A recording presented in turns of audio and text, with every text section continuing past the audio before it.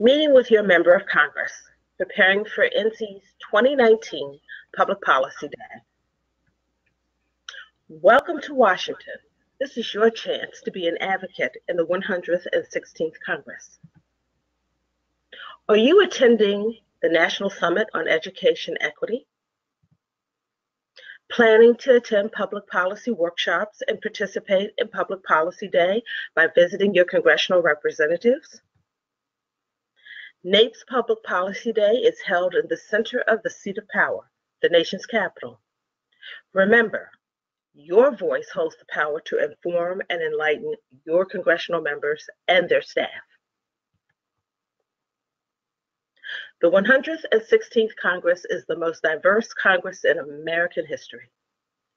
The congressional freshman class of 2019 is the most racially and gender diverse group of representatives ever elected to the United States Congress. This Congress also boasts a number of firsts, from the first Native American Congresswoman to the first Muslim American Congresswoman. There are 127 women in the 116th Congress, 25 women in the U.S. Senate, and 102 women in the U.S. House of Representatives. This does not include four women territorial delegates. 106 women are Democrats and 21 women are Republicans. Together, these women represent roughly 24% of all the seats in the United States Congress. In addition, the Congressional Black Caucus has 55 members. The Congressional Hispanic Caucus has 39 members and the Congressional Asian Pacific American Caucus has 20 House members. These three congressional caucuses make up the Congressional Tri-Caucus. Equity, diversity, and inclusion for everyone will be front and center issues for this Congress. Make sure you know the House and Senate committee chairs in the 116th Congress. Senator Lamar Alexander, Republican from Tennessee, is the chairman of the Senate Health Committee. Congressman Bobby Scott, Democrat from Virginia, is the chairman of the House Committee on Education and Labor.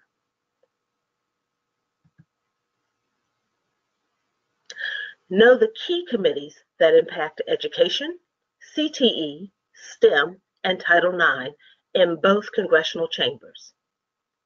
In the Senate, we have the Senate Health, Education, Labor, and Pension or HELP Committee. The Senate Appropriations Committee, which includes the Subcommittee on Labor, Health, and Human Services, Education, and related agencies, also known as Labor HHS.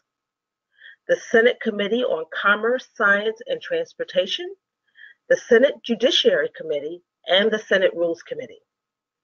In the House, we have the House Committee on Education and Labor, the House Appropriations Committee to include the Subcommittee on Labor, Health, Human Services, Education, and related agencies, also known as Labor HHS, the House Committee on Science, Space, and Technology, the House Committee on Judiciary, and the House Rules Committee. Also know the House and Senate CTE caucuses. Is your senator or congressperson a member? In the Senate, the Senate CTE caucus co-chairs are Senator Tim Kaine, Democrat from Virginia, and Senator Rob Portman, Republican from Ohio. In the House, in the Congressional CTE caucus, the co-chairs are Congressman Jim Langevin Democrat from Rhode Island, and Congressman Glenn G.T. Thompson, Republican from Pennsylvania. Their congressional staff contacts are listed on this page.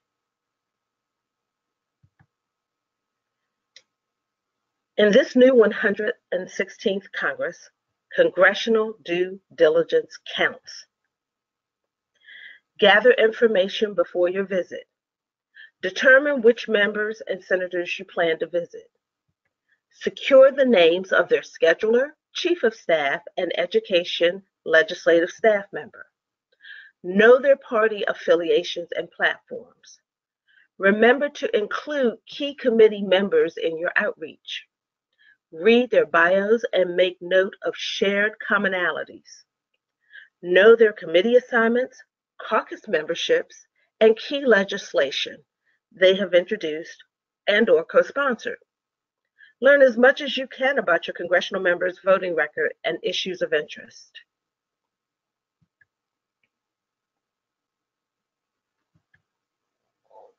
Become familiar with the opposition's views and position on the issues for which you are advocating. Be aware of sponsored, co-sponsored key language by the congressional member, and if you support it, thank them for their leadership when you meet. Be prepared to share a few successful stories and programs from your home state.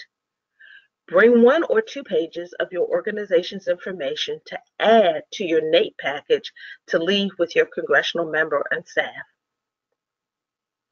Request a meeting.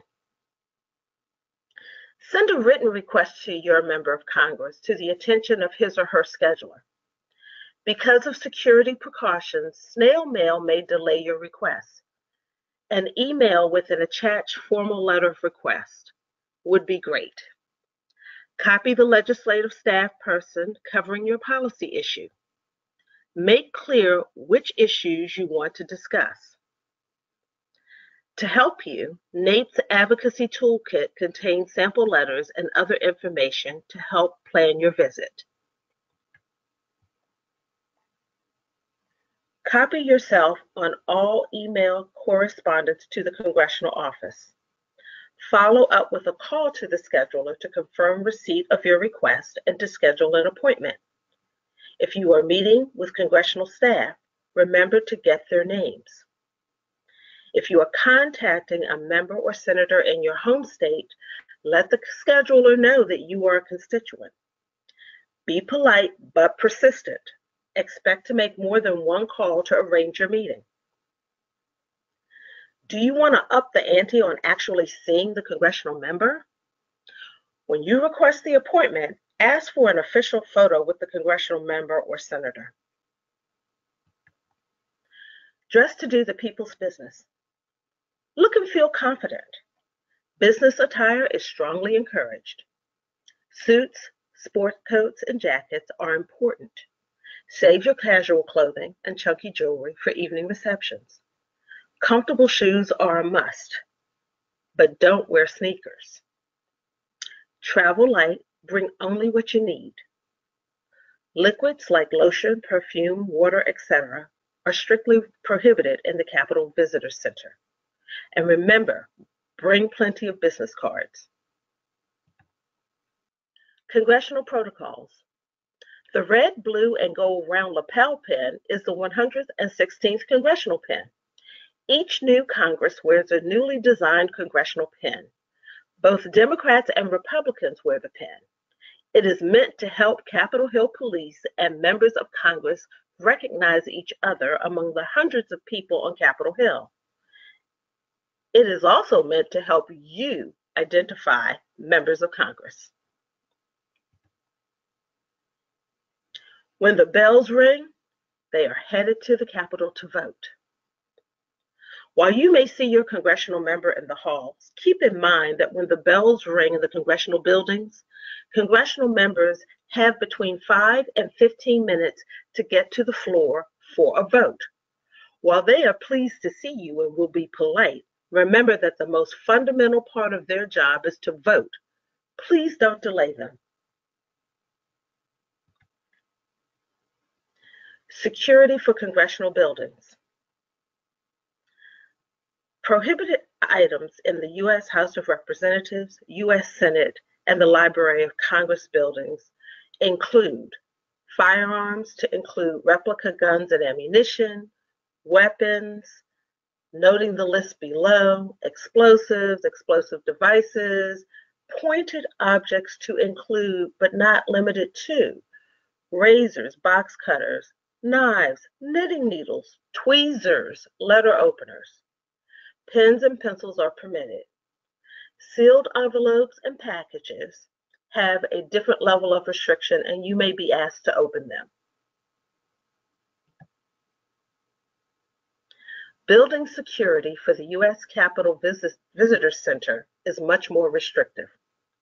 Before entering the Capitol Visitor Center, all visitors are screened by a magnetometer and all items that are permitted inside the building are screened by an X-ray device. Please review the list of items below because they are strictly prohibited.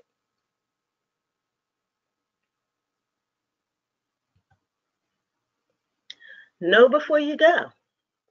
If you're going to the Hill on Wednesday, attend the NC Public Policy workshops on Tuesday. Below are six of the eight workshops being conducted during the NC, all around public policy. The U.S. Department of Labor's response to the executive order on the expansion of apprenticeships, navigating savvy advocacy, a congressional staff perspective, using research to inform state and federal policies, building relationships and awareness with legislators, leveraging required federal policy data to rebuild trust with Black and Latino communities, toward equity and excellence, policy and practice implications for the nation's updated CTE law or Perkins 5, and diversity in apprenticeship policies which support affordable childcare and pre-apprentice programs. As an aside, there are two additional sessions on Thursday on the Higher Ed Bill and Title IX.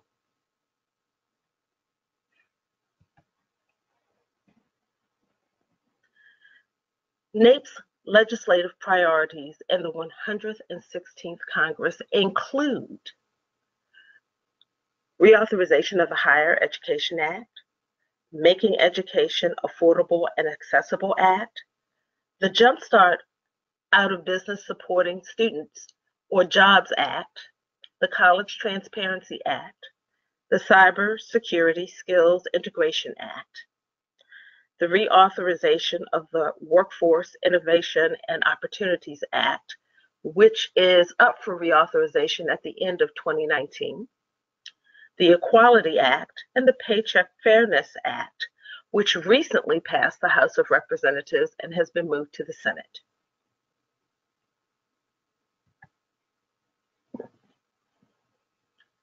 Some of NAPE's legislative priorities from the recent 115th Congress, which are likely to be reintroduced in this new Congress, include the Go to High School, Go to College Act, the Working Students Act, the Skilled Labor Education Act, Creating Quality Technical Educators Act, and the Faster Access to Federal Student Aid Act.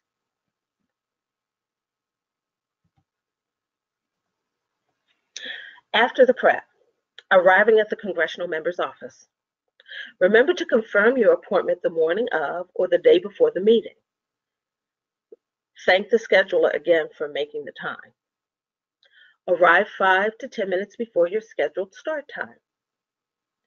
Be prepared to meet anywhere that the member, senator, or staff can meet. That may be in the office, in the hallway, in a committee anteroom, or even in the cafeteria. Schedules and space are always tight on Capitol Hill. Flexibility is key. Watch your sidebar conversations while you wait with colleagues. Staff listens to every word you say. Smile, introduce yourself, and start on a positive note. Give the member and the staff person your business card before the conversation begins. It helps them remember your name. Watch the clock. Be on time. That means arriving five to 10 minutes early and be prepared to wait as long as 30 minutes longer than the scheduled meeting time. Members and senators are often called to the floor to vote, so again, prepare to be flexible. If you go as a small group, determine who your spokesperson will be beforehand and let her or him lead the conversation. Focus on your main points and articulate your position clearly and concisely. Keep track of your time. Most meetings run between 15 and 20 minutes. Do not allow the meeting to run over.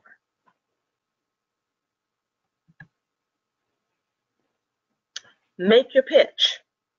Thank the member or senator for voting in support of a priority issue. State NAPE's position on priority issues. If there is a clear ask to make, be concise. If you are advocating for a specific bill, reference the bill number or title.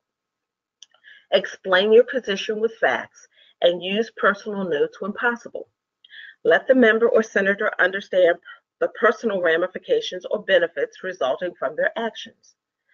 Ask for an explanation if you don't understand something or need clarification. Manage the conversation. Remember that the congressional member or staff's response won't always be clear. What is the person saying about the issue? What questions or concerns do they have that might be answered? Do not assume that the congressional member and or staff are familiar with the issues that you are bringing to their attention. Remember that you may be the first person to make them aware or have more details to share.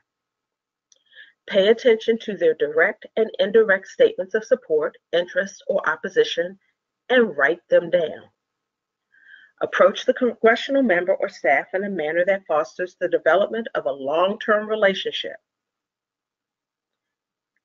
Last but not least, respond in a positive and courteous manner at all times, no exceptions. Wrapping up. Carry extra copies of information and leave materials that you bring for the member of Congress and or their staffs. Provide your business card at the start of the meeting and get the staff staffer's business card. If they don't offer it, ask for it. Thank the congressional member and staff, especially the front office staff, before you leave. You can never say thank you enough. After the visit, write members, senators, and staff to thank them for their time. Remind them of anything they agreed to do. Include any additional information. Share your meeting results, insights, concerns with NAPE and your state delegation. Complete and return our congressional feedback form. Provide NAPE with the staff person's contact information and add it to your own listserv. Staying in touch. When you return home, Schedule a follow-up meeting with the congressional member's district director. Let her or him know who you met with in DC, how the meeting went, and any steps from that meeting. Invite her or him to visit your facility for a first-hand look. Visit the member or senator's website regularly for upcoming events in your home district and organize a group to attend. Add your name to mailing lists to stay up to date on public events like town hall meetings and forums. Upload the congressional business cards you've collected to your database to ensure that they receive your newsletters, blogs, and other updates. Develop relationships by maintaining contacts with congressional members in Washington, D.C., and in congressional district offices through letters, newsletters, calls, invitations, and visits. NAPE feedback. Please complete and return the congressional feedback form after each congressional meeting. Print clearly. We have to be able to read it. Provide as much detail as possible, especially the staff contact.